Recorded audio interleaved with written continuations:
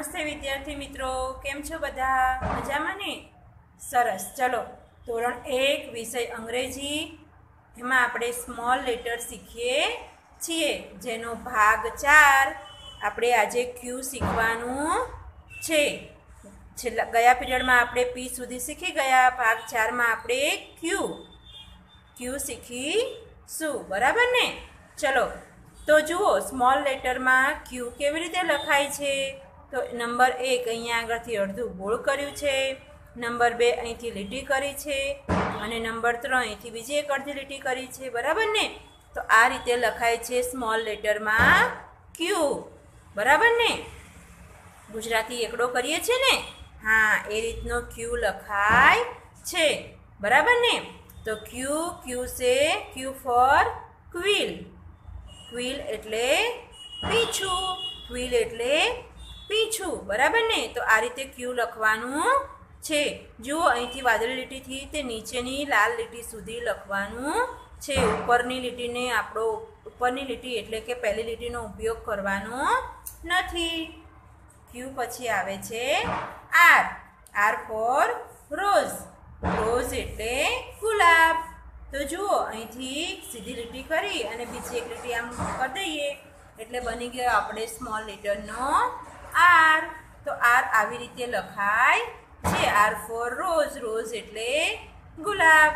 સમજણ પડી ને? અને આર આપણે અહીંયા આગળ બીજી વચ્ચેની જે વાદળી બે લીટી છે, એની અંદર જ લખવાનું છે. જુઓ વિદ્યાર્થી મિત્રો, આ જે લખ્યું છે, એ ધ્યાન રાખજો. અને આપણે જ્યારે પણ અંગ્રેજીની નોટમાં લખીએ, ત્યારે આપણને જે રીતે શીખ્યા છીએ કે આ આ અક્ષર આ લીટીમાં આવે, આ અક્ષર આ લીટીમાં આવે એ વસ્તુ તમે છેક સુધી ધ્યાનમાં રાખજો. બરાબર ને? આર પછી આવે છે એસ. આર પછી આવે છે S. S for star. S T A R. Star એટલે તારો. સ્ટાર એટલે તારો. અને જુઓ સ્મોલ લેટરમાં એસ ખાલી આ વાદળી જે લીટી છે, એમાં જ લખવાનું છે. પડે છે ને સમજણ વિદ્યાર્થી મિત્રો? સરસ. ચલો. એસ પછી આવે છે T T for toy toy એટલે રમકડું. બરાબર ને? તો જુઓ ટો ટી લખવો બહુ જ સહેલો છે. એક નંબરથી નીચે લીટી કરીશું.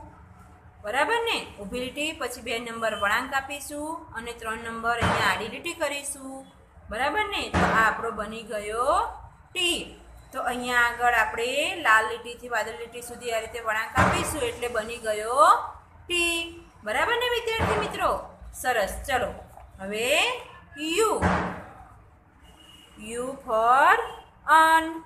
Urn એટલે પોટ. ઘડો, કુંજો. બરાબર ને? તો આ રીતે યુ લખવાનું છે. એક નંબર અહીંથી અડધું ગોળ કરી, બે નંબર સીધી લીટી કરો એટલે બની ગયો યુ. તો આપણે વાદળી લીટીમાં જ યુ લખવાનું છે. તો સમજણ પડીને વિદ્યાર્થી મિત્રો? તો આપણે આજનું હોમવર્ક જોઈ લઈએ. તો આજે આપણે શીખ્યા છીએ ક્યુ તો આ રીતે ક્યુ લખીશું. પછી એનું સ્પેલિંગ લીટી કરીને લખીશું ક્વિલ. ઉચ્ચાર લખીશું, અર્થ લખીશું, પીછું. અને પછી આખા પાનામાં આ રીતે ક્યુ લખીશું. પછી આર લખીશું, લીટી કરીશું આર ફોર રોઝ સ્પેલિંગ લખીશું, એનો ઉચ્ચાર લખીશું, અને લીટી કરી એનો અર્થ થાય ગુલાબ. પછીની જે પાનું બચે, એમાં આ રીતે આપણે આખા પાનામાં આર લખવાના છે. એવી જ રીતે એસ. તો એસ લખીશું, પછી સ્પેલિંગ લખીશું, S for star, S T A R, star, એનો ઉચ્ચાર લખીશું, એનો અર્થ થાય તારો, અને આ રીતે આખા પાનામાં એસ લખવાના છે, છૂટા છૂટા, બરાબર ને? એસ પછી આવે છે ટી. આ રીતે ટી લખીશું, T for toy T O Y spelling લખીશું, એનો ઉચ્ચાર લખીશું ટોય અને ટોય એટલે અર્થ એનો થાય રમકડું. તો આ રીતે આપણે આખા પાનામાં ટી લખવાના છે. બરાબર ને? ટી પછી આવે છે યુ. તો યુ લખીશું, લીટી કરીશું, U R N, urn urn એટલે કુંજો.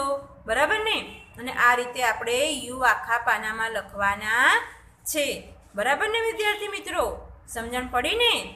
સરસ. ચલો લેસન બધા કરજો. ચલો આવજો. આવતા પીરિયડમાં ફરી મળીશું.